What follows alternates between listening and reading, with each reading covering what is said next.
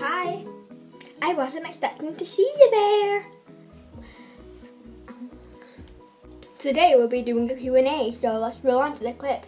First question, do you have any nail varnish on? If you do, please will you show us it? Sore. So this is my nail varnish. I only have it on my toes for now.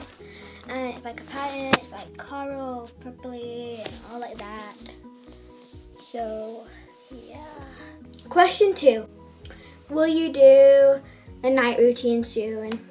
Yes, I will.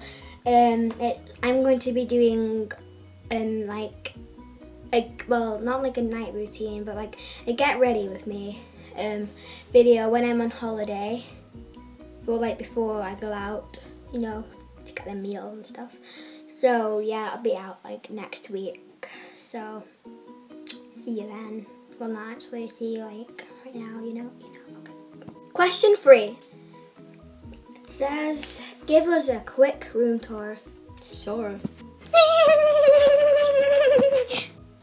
I'm so shameful.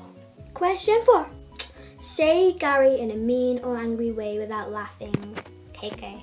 So this is my mean way. I'm not good at being mean, so here we go. Hmm. Hmm.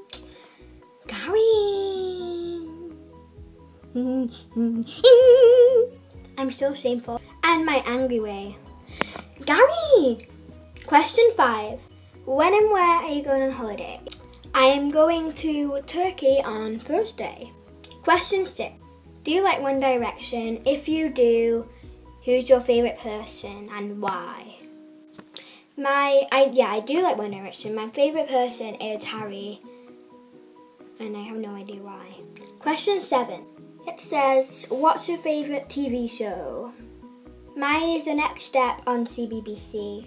So. Question 8. What's your favourite animal? Mine is a panda. Question 9. Please do videos on holiday. So will. And last but not least, question 10. Name three of your favourite hobbies. Chess, swimming and dance.